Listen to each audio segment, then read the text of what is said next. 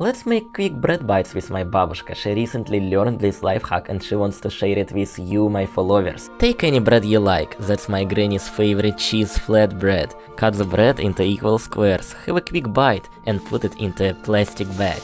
Add a little bit of salt, black pepper and any other stuff you like, a little bit of oil and shake it well. Smash it onto the plate evenly and put into a microwave oven for 3 minutes. And here we go, it took us only 10 minutes to make these bites. And they go really nice with a cup of tea or coffee.